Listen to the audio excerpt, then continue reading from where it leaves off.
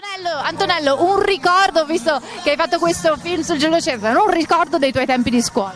Beh, ricordo dei miei tempi di scuola è legato ai grandi avvenimenti degli anni 70, uh, eh, ma soprattutto allo, all'assassinio di Serpico, il poliziotto ucciso davanti a Giulio Cesare. Fu la prima volta che il terrorismo entrava in una scuola e è una cosa indimenticabile, questa sera lo ricordiamo.